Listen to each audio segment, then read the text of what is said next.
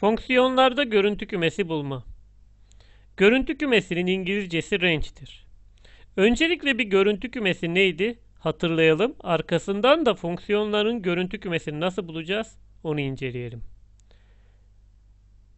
Bir fonksiyonun girdilerinin oluşturduğu ve çıktılarını oluşturduğu kümelere isimler takılmıştır. Bir fonksiyonu A'dan B'ye tanımlarsak bu girdilerin kümesi. Girdilerin kümesine tanım kümesi İngilizcesi domain çıktıların kümesi değer kümesi bu çıktıların içinde eşlenenler de görüntü kümesidir. Buradaki bir küme oluşturacak olursak 1, 2, 3, 4 A, B, C, D diyelim. Tanım kümesindeki her elemanın eşlenmesi gerekiyordu. Şu şekilde bir fonksiyon oluşturduğumuzda buradaki eşlenmiş olanlar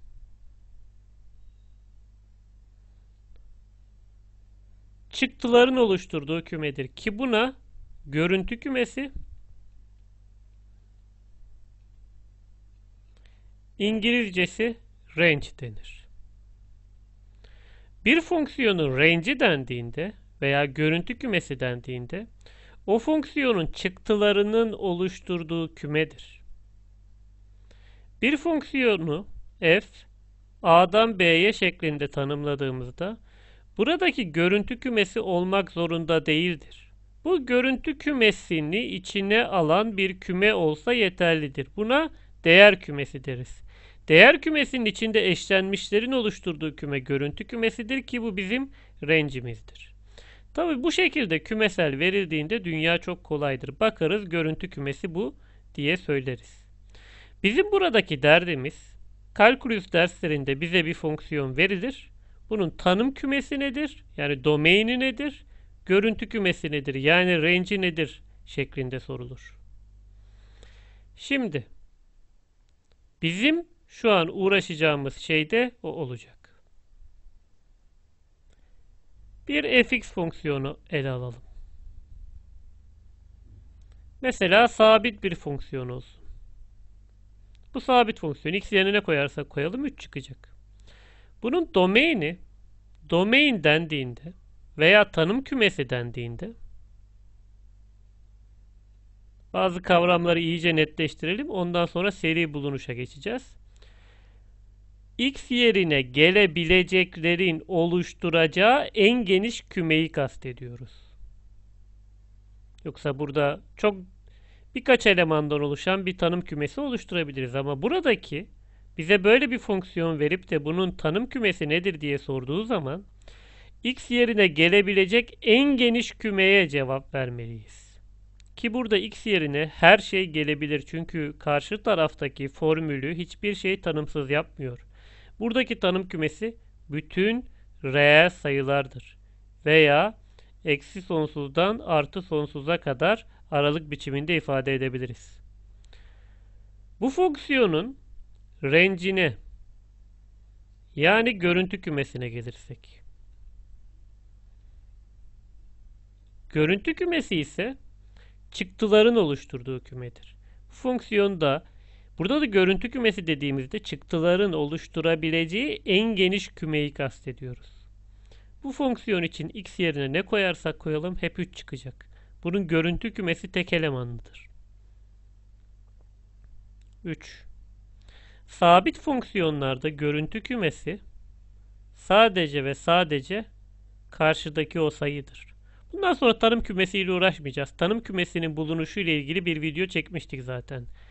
Derdimiz görüntü kümesi olacak. X yerine koyduklarımızın sonuçlarının oluşturabileceği en geniş kümeyi tahmin edeceğiz. Şimdi fonksiyonlarda yavaş yavaş gidelim. fx eşittir 3x eksi 5. Bu fonksiyona baktığımızda bu doğrusal bir fonksiyondur. Doğrusal fonksiyon.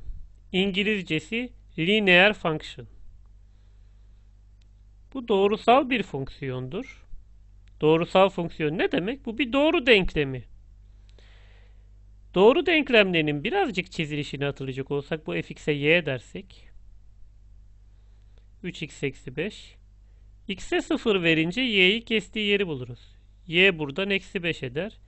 y'ye 0 verince x'i kestiği yeri buluruz fonksiyonun. 5 bölü 3. Ve ardından fonksiyon çizilir. x'i 5 bölü 3'te kesiyor. y'yi eksi 5'te kesiyor. Dümdüz çizeriz. Birazcık kafamızı kullanacak olursak doğrusal fonksiyonlar bütün y değerleriyle eşleşir. Çıktılar y ekseninde kalmaktadır. Bütün y değerleriyle eşlenir. Doğrusal fonksiyonların görüntü kümesi direkt reel sayılardır. Doğrusal fonksiyonların tanım kümesi de reel sayılardır. Çünkü onu tanımsız yapan hiçbir şey yoktur. Görüntü kümesi R'dir.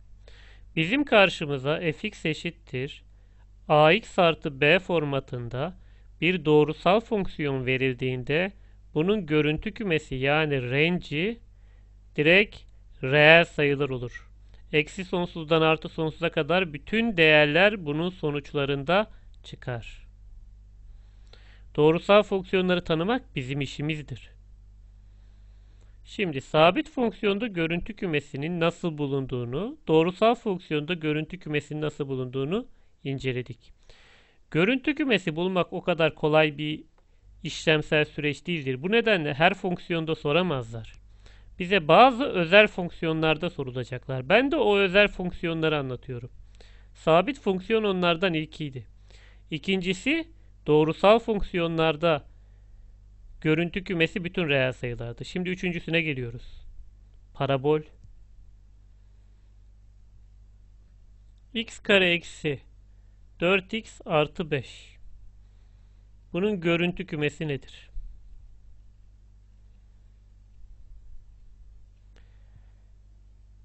Paraboller ax kare artı bx artı c denklemlerine biz parabol diyorduk. Parabollerin birazcık grafiğini düşünecek olursak görüntü kümesinin nasıl olacağını tahmin edebiliriz. Ya yukarıya doğru kolları olur ya da aşağıya doğru. Eğer kollar yukarı doğruysa tepe noktasını bulmamız lazım ki tepe noktasından anlayacağız. Tepe noktasının k'sından yukarıya doğru bütün reel sayılar alır. Burada da tepe noktasından kollar aşağı doğruysa o k eksi sonsuzdan o k değerine kadar bütün y değerlerini alır. Parabollerde tepe noktası nasıl bulunuyordu hatırlayalım. TRK diyorduk buna. R eksi B bölü 2A ile K'yı ise bizi ilgilendiren nasıl K'dır? Bu bulduğumuz R'yi fonksiyonda yerine koyarak. Bunun R'sini bulalım. R'si eksi B bölü 2A. A'sı 1 bunun. B'si eksi 4. C'si 5. Formülümüz eksi B bölü 2A. Eksi B'miz 4 eder. 2A'mız da A'mız 1 olduğundan 2. R'yi 2 bulduk. Bunu götürüp k'yı bulmak için fonksiyonda koyarsak f2 4 eksi 8 eksi 4 eder. Buradan da 1. k'mız 1 çıktı. Bu fonksiyonun x karenin katsayısı kollarının yönünü belirlerdi. a büyük 0 ise kollar yukarı doğru, a küçük 0 ise kollar aşağı doğru. Bu parabolün kolları yukarı doğru. Ve parabolün en dip noktasını bulduk. 2'ye 1. Parabolün, parabolün kolları yukarıya doğru olacağından dolayı bunun görüntü kümesi birden başlar, diğer bütün y değerleri çıkar. Bunun görüntü kümesi birden, bir dahil olmak üzere artı sonsuza kadardır. Karşımıza bir parabol geldiği zaman parabolün görüntü kümesinin tepe noktasından, tepe noktasının k'sından ya artı sonsuza kadar ya da eksi sonsuzdan tepe noktasının k'sına kadar olduğunu anlamalıyız. Şimdi bir başka parabol ele alalım. fx eşittir eksi x kare artı 2x artı 7. Görüntü kümesi nedir?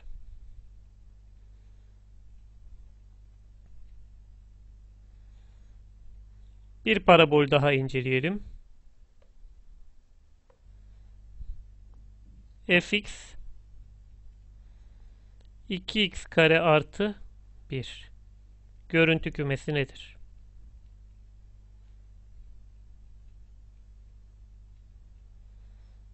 Daha devam edelim parabollerimize.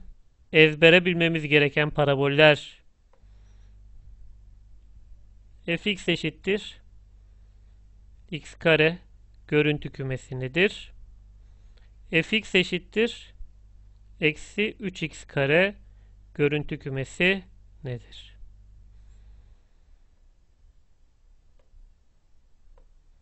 Şimdi ilk ile başlayacak olursak. Parabolleri tanıma zorunluluğumuz var. Tanıyıp ona göre görüntü kümesini bulacağız. Bunun r'si eksi b bölü 2a'dır. Eksi b'miz eksi 2 olur. 2a'mız da eksi 2'den r'yi 1 buluruz. Bunu fonksiyonda yerine koyup k'yı buluruz. Eksi 1 artı 2 artı 7 8 sonucunu bulduk. Parabolün a'sı eksi 1 olduğundan dolayı kolları aşağıya doğru. Çizimini yapacak olursak 1'e 8 r'miz 1 k'mız 8 kollar buradan aşağıya doğru olacak. Ve anlıyoruz ki eksi sonsuzdan 8 değerine kadar bütün y değerleri bu fonksiyon tarafından elde edilir. Bunun görüntü kümesi eksi sonsuzdan 8'e kadardır. 8 dahil olmak üzere. Parabollerin tanınma zorunluluğu vardır. Görüntü kümesi bulmak fonksiyonlarda o kadar kolay değildir. Belli fonksiyonları tanınmak zorundayız. Parabol de bunlardan birisi. Parabolün tepe noktasını bulup kolları aşağı veya yukarı doğru çizip alabileceği y değerlerinin aralığını yazmalıyız. 2x kare artı 1'e geldiğimizde bu parabollerin grafiklerini çizmeyi ezbere biliyor olmalıyız. Şuradaki x kare ile başlayalım önce. Fx eşittir x kare şöyle bir paraboldür. Tam orijinden geçer, kolları yukarı doğru. Yani bunun görüntü kümesi sıfırdan sonsuza kadar bütün y değerleriyle eşleşilir. Sıfır dahil olmak üzere. 2x kare artı 1'i çizerken de işte bundan ilham alırız. 2x kare de aynısıdır. Onu bir yukarı kaldırmışız. Birden bu şekilde. Bunun görüntü kümesi de birden artı sonsuza kadardır. Eksi 3x kareye geldiğimizde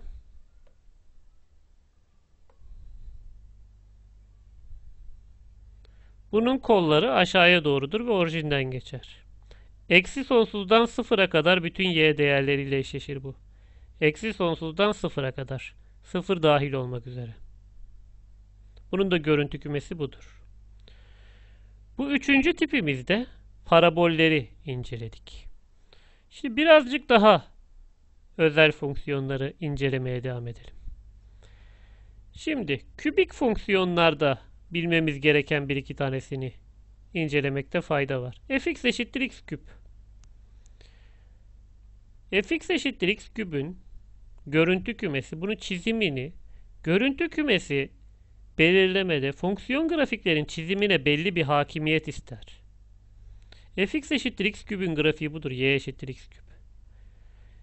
Bu grafiği bilen birisi y değerlerinin hepsinin eşlendiğini görebilir.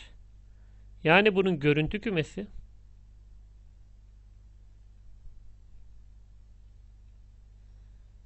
reel sayılardır. Bütün değerler çıkar.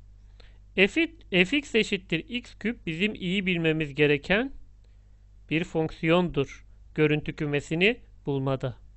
Devam ediyorum bilinmesi gerekenlere. fx eşittir mutlak değer x. fx eşittir mutlak değer x artı 1.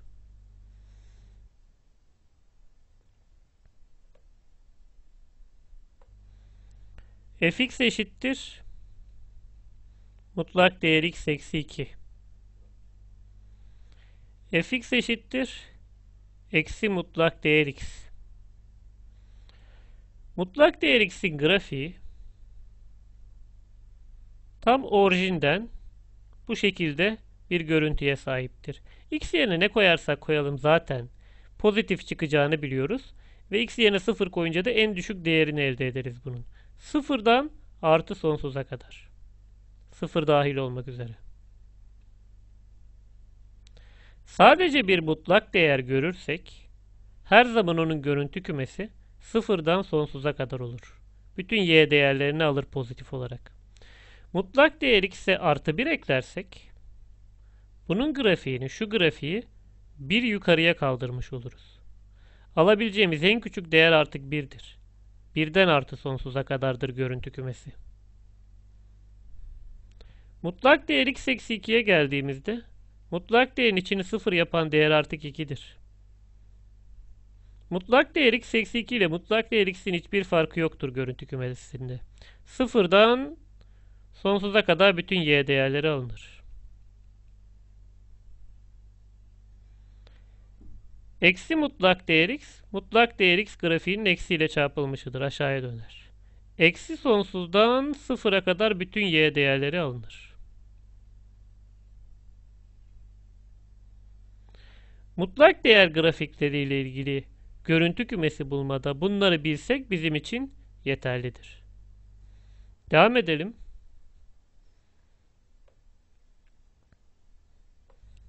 Görüntü kümesi bulmanın tek bir yöntemle her sorusunu çözebilecek bir fikri yoktur. Bu nedenle bu videoda anlattıklarım artık sizin kafanızda yer etmeye başlamalı ve zaman içinde yeni yeni fonksiyonlarla tanıştıkça onların görüntü kümeleri nasıl davranışlar gösterecek onların üzerine düşünmeliyiz.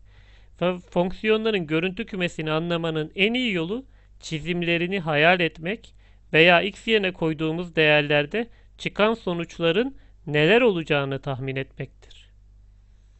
Köklü fonksiyonlara gelelim. fx eşittir kök x. Kök x'in grafiği şöyle bir grafiktir. x yerine 0 koyduğumuzda 0 eder. Negatif değerler koyamayız.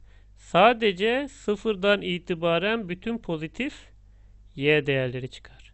Sıfırdan artı sonsuza kadar. Sıfır dahil olmak üzere. Eğer ki içine x eksi 3 yaparsak artık 3'ten itibaren değerler koyabilmeye başlarız. Yani bu da aynısıdır. Sıfırdan artı sonsuza kadar. Bunun içine x eksi 3 yapmamız bunun görüntü kümesini değiştirmez. Tanım kümesini değiştirir. Ama buna bir 2 eklesek şu fonksiyonumuz 2'den başlar. Bu nedenle 2'den itibaren y değerleri çıkmaya başlar. 2'den artı sonsuza kadar. fx eşittir kök x fonksiyonunun grafiğini çizmeyi artık öğrenmiş olmalıyız. Ve karşımıza geldiğinde direkt cevaplar verebilmeliyiz. fx eşittir eksi kök x olsun mesela. Eksi ile çarpıldığı için şöyle bir grafik olacak. Negatif olarak bütün y değerleri çıkacak sıfıra kadar. Eksi sonsuzdan sıfıra kadar. Sıfır dahil. Köklü grafiklerimizle ilgili bu kadar yeterli. Artık biraz da kesirilere geçelim. fx eşittir 1 bölü x. 1 bölü x'in grafiği fonksiyonların görüntü kümelerini kafanızda oluşturmak istiyorsanız internetten grafik çizen programlar vardır. Onlara girip grafiklerini çizip grafiklerine bakarak görüntü kümelerini tahmin edebilirsiniz. Şimdi buna gelirsek bunun grafiği şöyledir. Bunun sonucu asla sıfır çıkamaz. Sıfır dışındaki bütün y değerleri çıkabilir. 1 bölü x böyle özel bir fonksiyondur. Bunun görüntü kümesi reel sayılar eksi sıfırdır. 1 bölü x'in sonucu asla ve asla sıfır çıkamaz. Burada fx eşittir 1 bölü x kare olursa. 1 bölü x karenin grafiği ise şöyledir. Bu da negatif çıkamaz. Sadece pozitif y değerleri olabilir. Bunun görüntü kümesi sıfırdan başlar ama sıfır dahil değil. Sıfır olamaz bunun sonucu. Artı sonsuza kadar.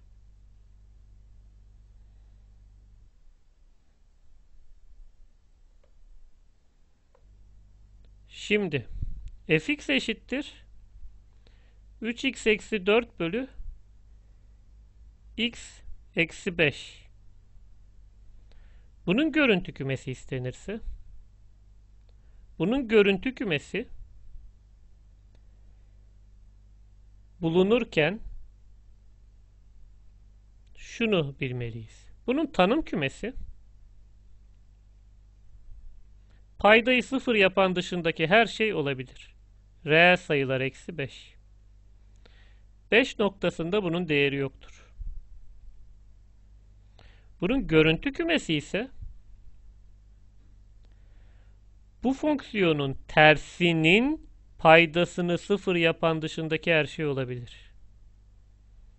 f eksi 1x kesirli fonksiyonlarda ters alınırken buradaki 3 ile eksi 5 hem yer hem işaret değiştirirdi. 5x eksi 4 bölü x eksi 3 olur. Bunun paydasını sıfır yapan 3'tür. Bunun görüntü kümesi de reel sayılar eksi 3'tür. 3 noktası dışındaki her şey olabilir. Bu şekilde kesirli fonksiyonlar sınavlarda görüntü kümesi sorulmaya aday fonksiyonlardır. Bunun tanım kümesi paydasını sıfır yapan reel sayılardan atılır.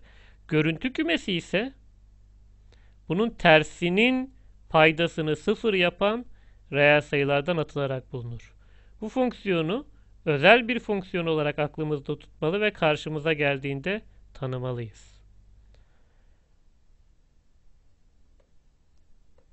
Son olarak sinüs ve kosinüs fonksiyonunu da inceleyip görüntü kümesi bulma videomuzu noktalayalım. Bu işin sonu yok çünkü. Karşımıza yüzlerce fonksiyon sorulabilir. Her fonksiyonun görüntü kümesini de bulmayı başaramayabiliriz. O yüzden bu şekilde yukarıda sorduğum gibi genel olarak bilinen fonksiyonların görüntü kümeleri sorulur. Sinüs x'i ele alırsak. Sinüs x'in artık kafamıza işlemiş olması lazım. Sonuçları 1 ile eksi 1 arasında değişir. Yani bunun görüntü kümesi. İçine girdi olarak her şeyi koyabiliriz. Ama görüntü kümesi eksi 1 ile 1 arasında değişir sadece. fx eşittir cos x fonksiyonu ele alırsak. Bunun da görüntü kümesi eksi 1 ile 1 arasında değişir. Kosinüs değerleri 1 ile eksi 1 arasında değerler alır sadece.